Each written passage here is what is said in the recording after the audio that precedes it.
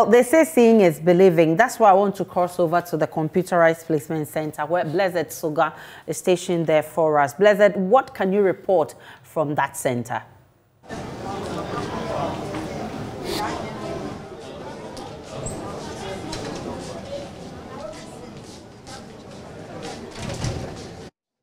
At the Computerized Placement Center where you are. All right, so Blessed Soga is there, and you've just heard. Um, Blessed, what can you report from the center? I can see a lot of people there. What, what exactly is the situation there? All right, so we'll try and get uh, Blessed to, uh -huh, so he's on. Um, we know that about uh, three days ago, the uh, Ghana Education Service uh, opened its portal to allow uh, for the computerized placement system to uh, be effected, which means that uh, potentially students will now be able to assess the schools that they've been placed in uh, in terms of uh, admission into senior high schools across the country. Now, we know that that process uh, started about three days ago. However, some parents and uh, schools have had challenges placing um, students into the various senior high schools. There are also some anomalies uh, in terms of the placement, the computerized placement system. So, what the Ghana Education Service, in collaboration with the Ministry of Education, has done is to open up a center where parents and those who have challenges accessing the CSSPS system can uh, go onto that portal uh, and then come over here to the uh, NAT hole and then try as much as possible to rectify the challenges that they are having with, with their system. So what you see now as course of parents who have been here since morning trying as much as possible to engage some of the uh, officials of the Ghana Education Service and the placement system to try and rectify their challenges. Some parents have gone through the process already, and uh, let's try and engage with some of them. Uh, there's a gentleman here who came since uh, morning, right? Mr. Nelson. Yes, Nelson has been here since morning, and uh, he actually has a, a, challenge in terms of the placement system uh, for your daughter, right? Yes, please. So, which school was your daughter placed in? My daughter was placed at Kaneshie High senior high school. Senior high school. Okay. So, uh, what was the challenge with the placement? The challenge with the placement is that where I live is far from Kaneshie and it has been given day school, which is will be difficult for me looking at the current situation, the transportation problem. So, if it were to be boarding school, no problem. Right. So Nelson, you also tell me that um, it, it, appears that looking at the grade that your child has, she's not supposed to be placed uh, in the fifth grade school, right? No, or, uh, fifth selection. No, not at all, because we know that from 6 to 10 supposed to be first grade, and from 11 to 20 supposed to be second grade. Uh, my child got 19, so at least if not second grade, third could have been better, but rather the fifth grade they give to her. So since since what time did you um, get here, and have you been attended? Well, I came in the morning. I went to the Minister of Education before we were directed to come here. So we have just arrived here. We have been asked just to write two choice of schools and leave. They will call us. So we don't know when they will okay, call. So you don't even know when. We don't know our fate. They have taken. They have given us a paper to write two choices of schools and leave. That is a process. So they will call us. That's okay. what we have been told. So, so Nelson, you're hopeful that something will be done about it. Yes, of course. we are hoping they will do something. Thanks, Nelson, for talking to us. So Nelson is one of the parents uh, who's actually going through the process here. And if uh, my cameraman can just show you uh, what the process looks like, what you see on your screens now is how um, the Ghana Education Service has uh, arranged the NATOL, a center where uh, it will be uh, engaging parents who have challenges with the placement system. So you see some parents already going through um, the process uh, of rectifying whatever challenge it is that they have uh, with the school selection system. So if you're listening to us now or you're watching us live on the Joy News channel, you need to know that where you can rectify all of these challenges uh, is actually at the uh, NAT hall, not not hall. It's a resolution center that has been set up by the Ghana Education Service. Fortunately, some of the supervisors who are here with us, uh, I mean, assisting parents through the process, uh, will help us understand what's happening. Uh, there's uh, one of the supervisors here who would explain to us. Good morning to you, madam. Good morning, sir. Your, your name? Afra. Okay, so Afra, explain the process to us. Um, what are we seeing hap happening now, and how? What arrangements have you put in place to uh, resolve the challenges of parents who, who, who are here? Okay, what we are doing now is this place is a resolution center. Some of the parents are here that they've not gotten a school. Others still want to change school. Others still uh, said they want to change programs, courses, and the rest. Others who want technical school. So that is what we are doing here. So we will look at your issue and then we see how best we can address it for you.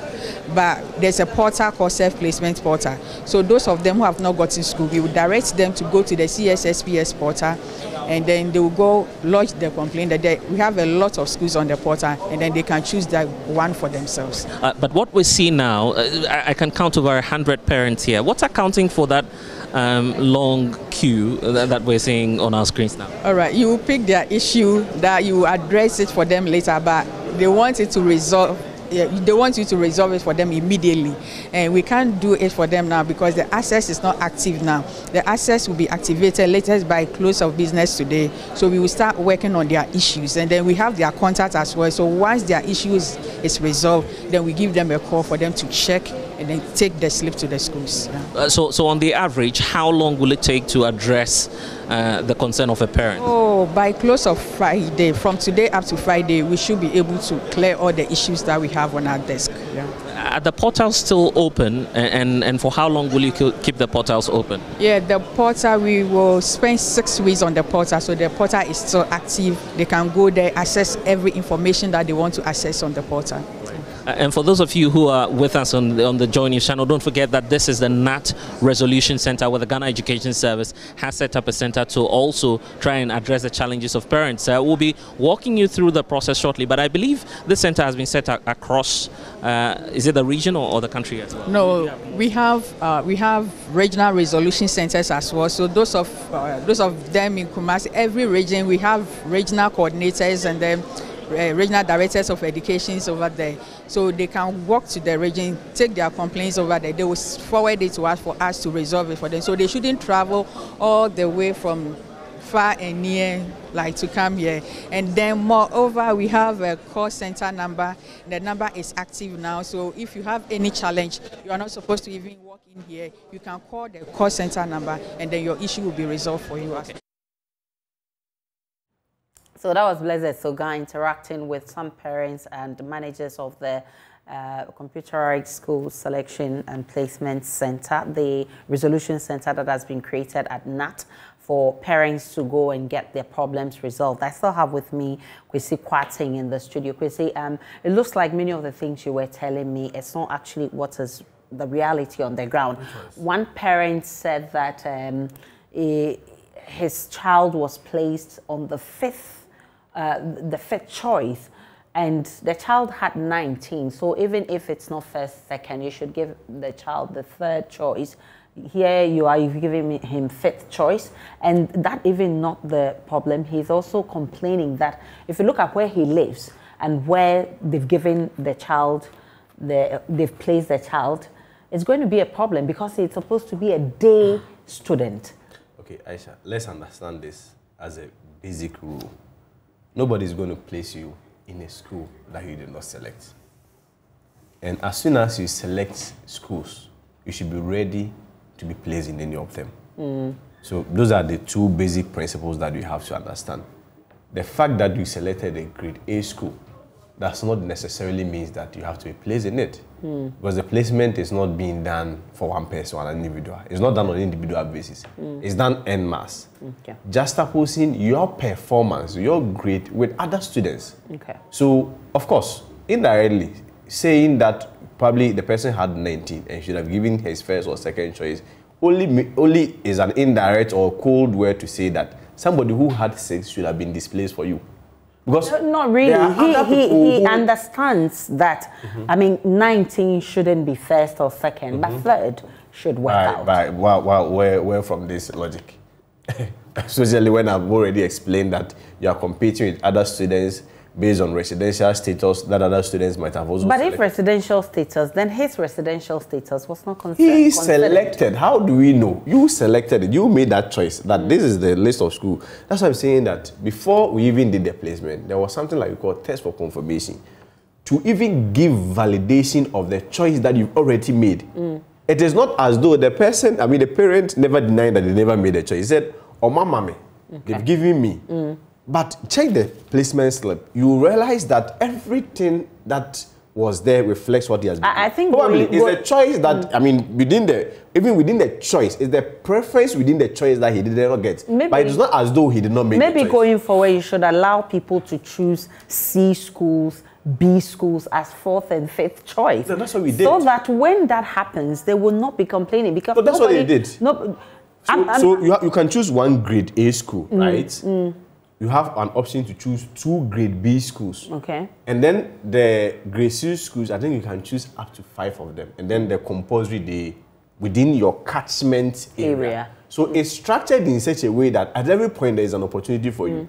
Then that's why it's very important that during the selection process, uh, process it's not only left at the behest of the ward. Mm. Other than that, they will just go and follow their friends and select schools where you, the parent, genuinely knows that their performance is not up to. And, and the teachers. And what happens is that if you miss your first, second, third, it's possible that your third is even somebody's first. Mm. He will be given a priority ahead of you Okay. in terms of the system. Then he pushes you back and then you complain. At the end, they tell you that they did not select their school. You take the placement slip and you realize that. And this man never denied that he, they never selected. And He's just not happy with you- the selection that they made. you are hopeful, briefly, that uh, all the people there will get their issues resolved. Oh, obviously, obviously, especially the, the, the genuine ones. I mean, Aisha, the fact that everybody is there does not mean that uh, all issues, I mean, especially, for instance, I mean, I'm unable to, to speak to how they are going to work, but I feel that all genuine issues should supposed to be addressed because let's also be very realistic here.